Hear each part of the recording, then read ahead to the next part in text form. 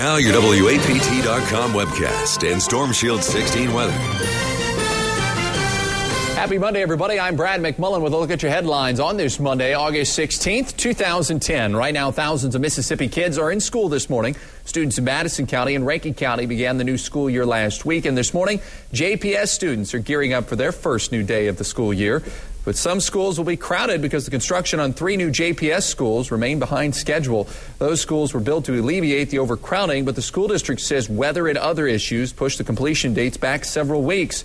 Until those buildings are finished, teachers and students assigned to the new schools will be forced into other schools.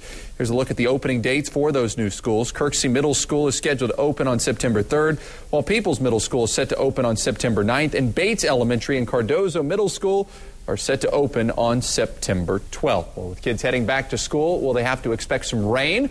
Joining us now with the answers, Live Storm Shield 16 meteorologist Heather Sophia. Good morning, Heather. Good morning, Brad. And we continue to watch what's left of Tropical Depression number five move into the Gulf yet again today. So this morning we're not seeing any rain. Still going to be humid, but as we get into the afternoon, as this system moves to the west, we are going to see the threat for seeing those isolated to scattered showers and thunderstorms. Here's what I'm thinking over the next 24 to 48 hours. It will scoot along the northern parts of the Gulf, and as that happens, we're going to see that rain hit southern parts of Mississippi again. Already seeing some soggy grounds there. More rain on top of that, not going, not going to help out.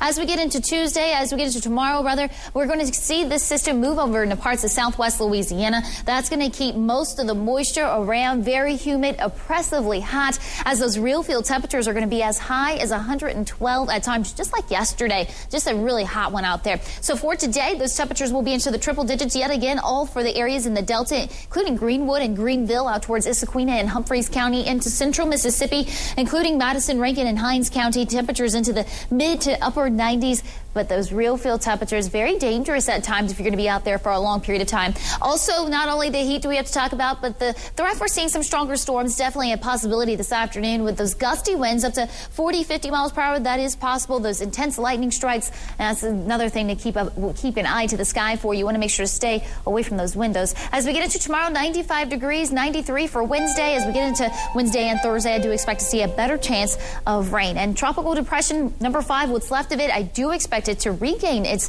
status later today. We'll keep you up to date with the latest right here on WAPT.com. Thanks for clicking on this link. We'll see you back here later today.